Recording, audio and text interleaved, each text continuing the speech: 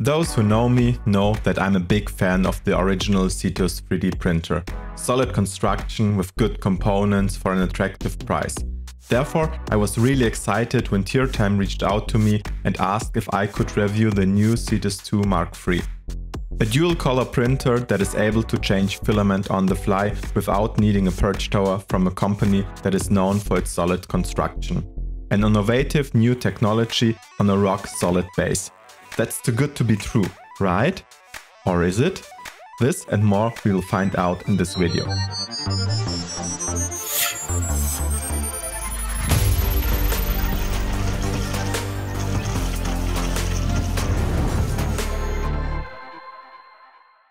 Hey and welcome back to my channel. I'm Matt the printing nerd and today we're going to take a deep look at the new Cetus 2 printer from Tiertime. But before I can start testing this machine we need to assemble it. So let's get started. The printer comes with an easy to understand instruction manual which makes the assembly process straightforward even for beginners. It took me about one hour to assemble it but I took my time to inspect each component, so I'm confident it could be done in about half of the time. In addition to the paper instruction, the printer came with a QR code that leads to a video instruction as an alternative. In both cases, Tiertime did a great job.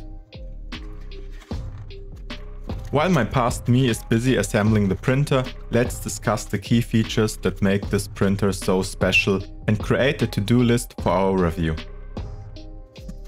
In conventional multicolor printing, the filament change occurs at the point where the heat break begins. When changing color, the printer needs to perform a lot of retraction to prevent mixing half-melted filaments. To clear this, the printer typically extrudes the filament onto a purge tower to clear the nozzle. However, this often results in a purge tower that is as heavy as the printed model, leading to a significant waste of filament. And that's where the Cetus 2 comes into play. The engineers at Tiertime have been able to move the filament change point much closer to the nozzle. They achieved this by creating a V-nozzle that contains two direct drive extruder paths which meet a few millimeters above the nozzle tip. This allows the extruder something they call on-the-fly switching which should reduce the size of the purge tower by a lot. Additionally, Tiertime claims to be able to mix two filament colors and blend them together, which is also very exciting. Another aspect that caught my attention is speed. With two heater cartridges and two melting paths, the tool head should, in theory, double the melting performance when using two filaments of the same color together. After the printer is assembled, let's have a look on the construction. The first thing that draws my attention are those beefy linear bearings. For size comparison, here's a 3D Benchy. Look at them, they are as wide as the boat, which is crazy. Also, there's no wiggle room on the Z-axis, which is pretty promising. The next thing that draws my attention are those two linear rails, which is also something that you don't see on cheaper constructions. Followed by this massive aluminium profiles. I don't know how good this transports over camera, but man, this construction is made to last for decades. Also, the type of joints they used shows me that the engineer that designed this motion system was knowing what he did. Big thumb up. The next thing that draws my attention is something that is not there. Besides of the toolhead, there is almost no plastic on the construction of the printer. This is something that I normally only see on industrial grade printers at a way higher price point. I mean, look at that. Even at the back side of the housing, the filament sensors, the filament holders, everything is made out of steel, which I like a lot. Moving on to the electric, the first thing that I've noticed was the flat cables that used to transfer data. Um, wait a second, there is no power connector to the heaters? It seems that they use the flat cables to transfer the current for the heaters of the hot end. Wow, that's something that I never seen before. Are those tiny cables strong enough to transfer the current of two heater cartridges without getting hot? This is something we have to check while printing. Another thing that I noticed are the fans on the tool head. At first I thought that they're using two 4010 radial fans for part cooling, But no, the part cooling is done by this tiny radial fan. So for sure we will put an overhang test onto our to-do list. And last, let's have a look at the print bed. They've used a 20 by 30 centimeter sized glass bed. This one is thick. I like the texture, it's not flat, it has a tiny amount of surface, which is pretty nice. And I really like the mounting solution. But what we have to check here is how good the temperatures on this bed are. In the past, I've made bad experiences with thick glass plates because thick glass plates are good isolators and therefore they are hard to get warm. So before we turn this printer on, a short disclaimer. While Tiertime sent me this printer for free to do this review, I'm allowed to speak free about all positive and negative things I've noticed while reviewing this printer. For me, it's important to give you an independent, honest feedback on the printer. I don't do product placements where I get pages of marketing claims the brand wants me to drop. So with that said, let's fire up the printer. After a few seconds the printer started and we are in the main menu. Here most of the menu items are disabled until we home the printer. So we hit the initialize button, hit OK and wait until the homing is done. After homing was done, all menu points are activated so we are able to calibrate the printer. I started with auto bed leveling and after it was done I noticed that the print bed was not straight. So I had to level the bed first. Bed leveling is straightforward. The print head moves from bed screw to bed screw and after a measurement the printer tells the user how much he has to turn the bed screw to the left or to the right. So after this was done I repeated the auto bed leveling and well, way better. Next up let's load filament to the two extruders. We go into the material menu, we hit extruder 1, PLA is ok, we hit the down button and the extruder starts heating up. When the heater reaches around 205 degrees Celsius, the extruder starts running. We push the filament into the blue extruder path and wait until we feel the extruder pulling down the filament. After that, we repeat the whole process for the second extruder and we are ready to print. But before we do our first test print, let's have a look what else we could configure through the menu. In the information menu, we are able to update the firmware. Also, we see a couple of basic informations about our printer. In the config menu, we can connect our printer through Wi-Fi to our local network, we can activate or deactivate our filament sensor, and we can activate or deactivate if the print bed should be preheated before the print started. After we inspected every menu point, it's time to do our first test print. Tiertime provides with the printer a couple pre-sliced models and we will start with the small rocket. And here we come to the first problem of the printer. You see me trying to select the small rocket in the list menu, but man, it is so hard to select something fine like an item in the list on this resistive touchscreen. I think it would have been a better decision adding a capacitive touchscreen to a consumer device like the Cetus 2. After I was finally able to select the small rocket and hit the print button, the printer started. The print screen is basic, but it has all the information you expect on a 3D printer. So let's have a look at the finished rocket. First up, I like the color separation. There is no mixing, no artifacts, everything looks clean, really nice. One thing that I noticed are the fallen lines on the bottom of the rocket. I'm not sure if you can see them on camera so I blend in a picture of them. It looks like my first guess on the weak part cooling may be right. Other than that, the rocket looks really nice, especially at the top where the checkerboard pattern gets smaller and smaller. At the bottom we see that the inner part of the rocket was used as a purge tower, which was a smart placing since it allows us to save filament that otherwise would have been used as infill, so good job Tiertime. So after the rocket printed properly, I was comfortable that the printer was calibrated. I decided that it's time to slice my first own model. After the software was installed, I imported a 3D Benchy to it and used the paint function to color the lower and the upper part of the boat in a different color. I had to choose a density so that the slicer knows how deep the hull should be printed in the second color. After I've done this, I sliced it, put it on an SD card and started the print. When I came back to check the print, I was really disappointed. First, I thought that something went wrong, so I double checked it by reprinting the Benchy, but my second boat looked similar to the first. So, whoa, where to start? We have multiple areas where the colors are smashed. Um, we have fallen lines on the top part of the boat, and on the bottom part there are multiple artifacts that are normal for speedboats but not for a print that was printed at the speed of 60 millimeters per second. Overall the boat looked bad and at this point I thought that maybe I did something wrong. So I did a bit of research and I found a nice checkerboard Benchy that I wanted to print next. This model is composed of two parts, one for each color. If you're wondering what I'm doing, I tried to turn the camera so that you get a good view on the boat, but the slicer don't let me.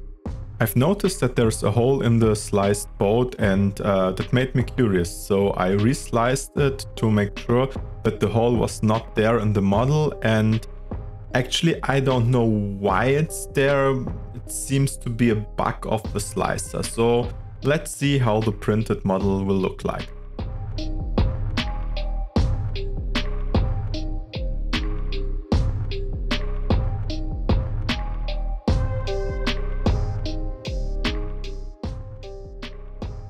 At first glance, the Benchy looked really good.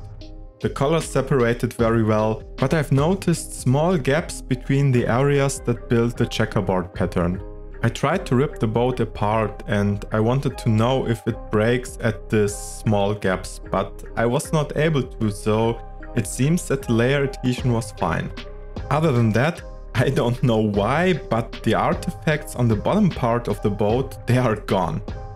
My guess would be that the checkerboard pattern causes the printer to print the bottom part slower and therefore the artifacts that we've seen before don't occur.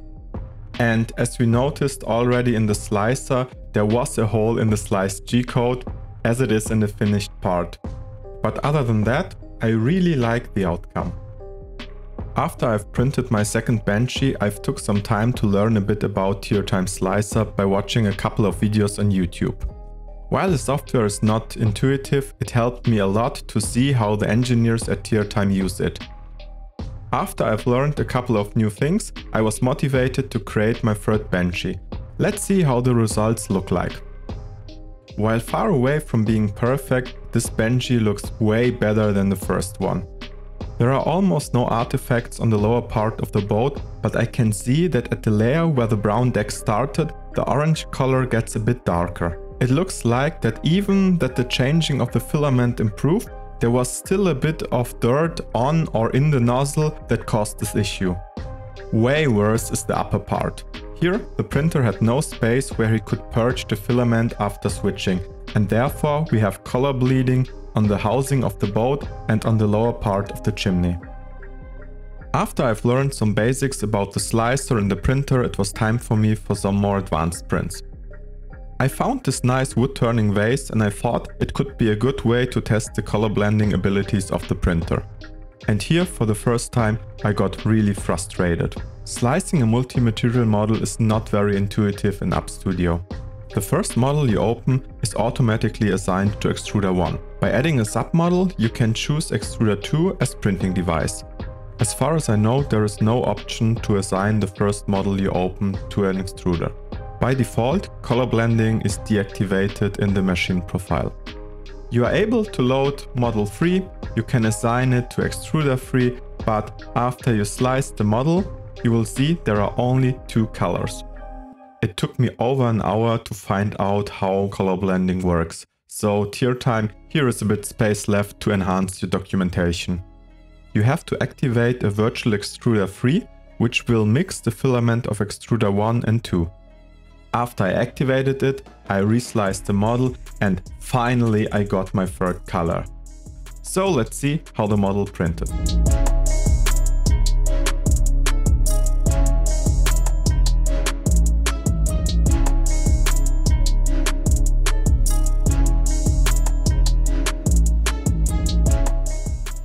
The first thing that I noticed was that the surface was very rough.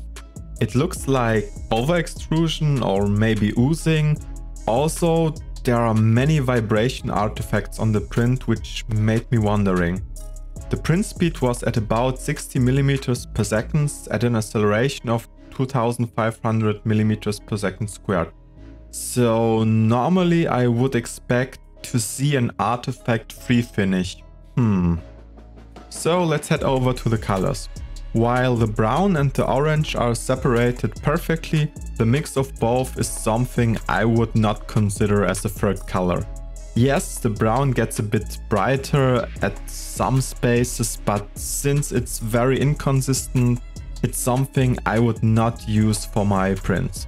And I've tested a couple of different filaments. So maybe there is a semi-transparent filament that blends better, but I was not able to get a good result. Now that I know that blending is not the way to go, I've looked for a two color model and I found this nice plant pot. As you can see, at first glance, the print looks very nice. But as soon as you look for details, you notice that there are fallen lines all over the relief. Other than that, the print looked okay. So I went to my girlfriend and I asked her if she would like to use it for a new plant. And, well, a bit embarrassed, she declined. So I went out to test the part cooling with an overhang test. The first overhang test failed at about 30 degree, which was the worst result I've seen on a 3D printer with part cooling enabled. Also, I've noticed that the area behind the tower started to get rough at about 20 to 30 degree. So even at 30 degree, the cooling performance is not stable, which we saw on the vase and on the rocket.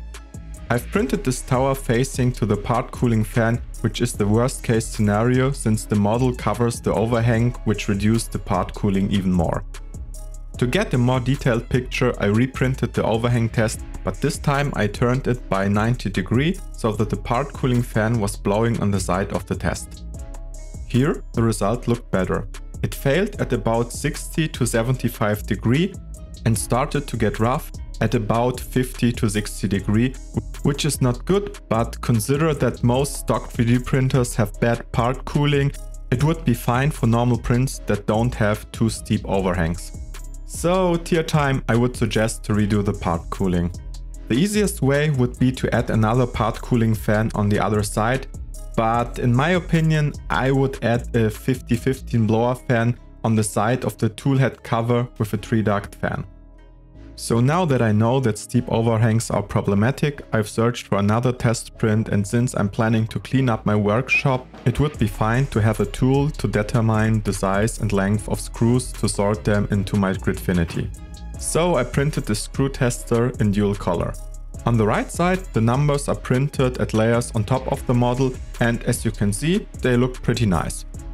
Yes, the resolution of the numbers could be a bit better, but this was my mistake since I printed this model with a 0.4mm line width. On the left side I engraved the letters into the model and as you can see there are many artifacts. Starting with no color. I double checked it in the slicer and it should be black but well there has to be a bug in the G-code so um, I don't know. The other letters were black. But what I can't explain is why the bleeding gets worse and worse, because the sliced G-code looks similar for every letter and since there is no other material change, I would expect that all black letters should look similar. Another artifact that I noticed is on the top layers. I'm not sure how visible this is on camera, but in person you can see that the layer lines are not connected. Also you can see the infill through it. I double checked it with my other prints and this is the first time this issue occurred. I was able to reproduce this behavior on a calibration cube. As you can see on the C side, there is massive under extrusion on the top layer. I've printed about 20 different calibration cubes with multiple slicer settings changed.